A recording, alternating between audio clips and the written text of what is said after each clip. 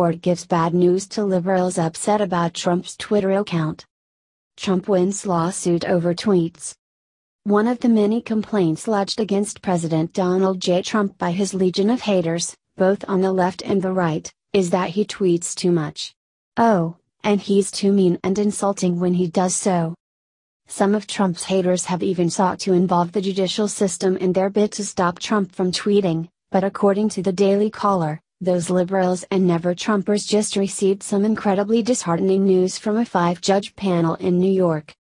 The justices of the New York Appeals Court ruled that the president's tweets were too vague, subjective, and lacking precise meaning to be considered as defamatory and were therefore protected as free speech under the First Amendment. The appellate panel agreed the defamation claim was correctly dismissed in the absence of actionable factual allegations that tended to disparage her in the way of her profession, trade, or business. Trump had called Jacobus a real dummy and insinuated that she had begged for a job in the 2016 campaign. According to Bloomberg, Trump had also called Jacobus a major loser who had zero credibility, statements that Jacobus alleged incited a virtual mob to descend upon her. Nonetheless, her argument was dismissed by Judge Barbara Jaffe. Just because speech may be offensive to someone doesn't make it defamatory, Trump attorney Lawrence S. Rosen stated.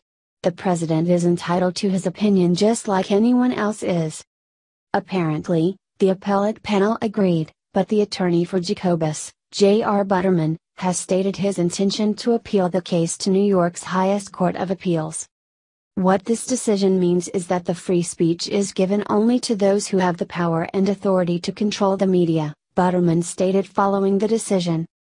We aren't entirely sure what media Butterman is watching that is controlled by Trump, but we digress. According to the Post, Butterman added, It's not a happy day for democracy in my opinion.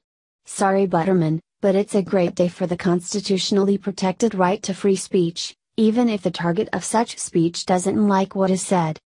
Trump attorney Rosen stated how pleased the president was with the decision, and added, Here Ms. Jacobus was very critical of the president during the campaign, on air, then candidate Trump was certainly within his rights to rebut her attacks and offer his opinion as to what her motivations were. It is worth noting that Trump and his lawyers are currently fighting off a similar defamation lawsuit filed against him by a former contestant on The Apprentice who has accused Trump of sexual assault and been deemed a liar and fraud by the president. This ruling would seemingly set precedent for that suit to be dismissed as well. Though liberals and never Trumpers will no doubt be gnashing their teeth at this decision, they must nevertheless get used to the fact that Trump will continue to tweet whatever he wants, whether they like it or not. Please share this story on Facebook and Twitter so everyone can see how a New York appellate court panel ruled on President Trump's tweets. What do you think of this court ruling on President Trump's tweeting habits? Scroll down to comment below.